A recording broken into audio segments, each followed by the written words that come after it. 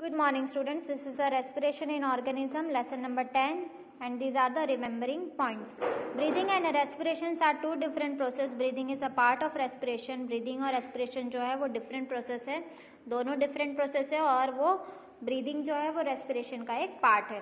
Cell is the smallest structural and functional unit of an organism cell जो है वो smallest structure है और एक फ़ंक्शन है यूनिट है। ऑर्गेनिज्म का cell needs energy to perform various functions cell को जो है एनर्जी uh, uh, चाहिए जिससे कि वो वेरियस फ़ंक्शंस परफॉर्म कर सके। Uh, energy is release in the process of respiration energy release होती है जब हम रेस्पिरेशन करते हैं। जब हम रेस्पायर करते हैं तो उस प्रोसेस में एनर्जी रिलीज़ होती है। Respiration is essential for the survival of living organism respiration जो है, वो बहुत ही इंपॉर्टेंट है इसेंशियल है, जिससे कि लिविंग ऑर्गेनिज्म सर्वाइव कर सके।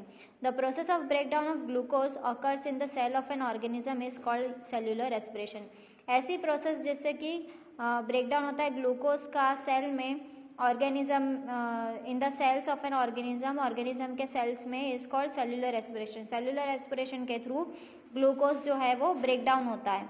There are two types of cellular respiration we have aerobic and anaerobic now, food glucose is broken down in the presence of majority of organism perform aerobic respiration food जो है glucose जो है वो broke down हो जाता है means टूट जाता है ऑक्सीजन की प्रेजेंस की वजह से और मेजोरिटी ऑफ़ ऑर्गेनिजम्स परफॉर्म और सारे ऑर्गेनिजम्स जो हैं वो एरोबिक रेस्पिरेशन से होते हैं। So that is glucose in the presence of oxygen plus carbon dioxide plus water plus energy now anaerobic respiration food glucose is broken down in the absence of oxygen food जो है glucose जो है वो broken down होता है, जब oxygen present नहीं होता तब तो ये cells perform anaerobic respiration और ये सेल जो है वो इन एरोबिक रेस्पिरेशन परफॉर्म करते हैं। So glucose in absence of oxygen gives alcohol plus carbon dioxide plus energy during heavy exercise when the supply of oxygen to our muscle cells is insufficient aerobic respiration takes place in the muscle cells जब हम heavy exercise करते हैं तो oxygen जो है वो काफ़ी सारा हैवी सप्लाई होता है मसल्स में से और इनसफिशिएंट एरोबिक रेस्पिरेशन भी होता है हमारे मसल सेल्स में। So glucose insufficient oxygen gives lactic acid plus energy now breathing is a process which involve inhalation and exhalation breathing एक ऐसी प्रोसेस है जिससे कि हम इनहेल करते हैं और एक्सेल करते हैं। मीन्स सांस अंदर लेते हैं और बाहर निकालते हैं।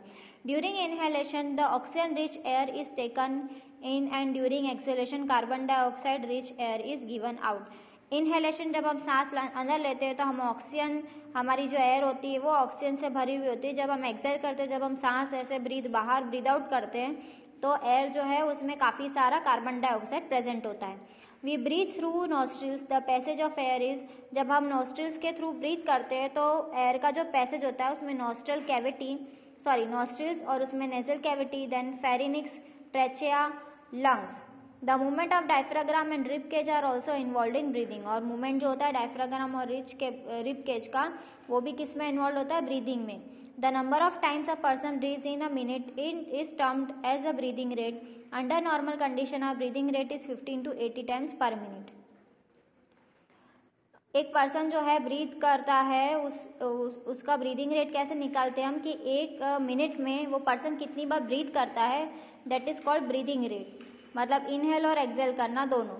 सो फिफ्टीन 15 और 80 times per minute that is called breathing rate normal condition जो है ब्रीदिंग रेट जो है नॉर्मल पर्सन की that is 15 to eighty times in a minute increase physical activities enhancing breathing rate और ज़्यादा फ़िज़िकल एक्टिविटी करने से हमारा ब्रीदिंग रेट जो है, वो बढ़ जाता है।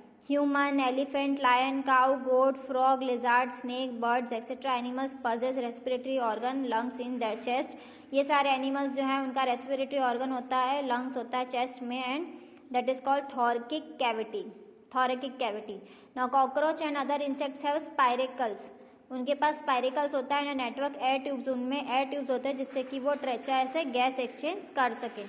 ना animal and organs for gas exchange earthworm मॉय skin होती है फ़िश गिल्स फ्रॉग मॉय स्किन एंड लंग्स उनके पास मॉय स्किन और लंग्स दोनों होते हैं। Plants also respire in plants each part that is plants भी है, वो रेस्पायर करते हैं। जैसे कि उनका पार्ट है root stem leaf flower fruit can independently take in oxygen और इंडिपेंडेंटली वो ऑक्सीजन लेते हैं। फ्रॉम इन्वायरमेंट वो इन्वायरमेंट से ऑक्सीजन लेते हैं और गिव आउट कार्बन डाइऑक्साइड और कार्बन डाइऑक्साइड को ब्रीद आउट करते हैं। Leaves have tiny pores called stomata leaves में जो टाइनी पोर्स होते हैं, जिसे हम स्टोमेटा कहते हैं, वो भी गैस एक्सचेंज करते हैं। तो here is a remembering points of respiration in organs lesson number ten is finished I hope this video will help you to learn at home stay home stay safe keep planning and watching this video stay to to learn exception bye take care have a joyful day have wonderful day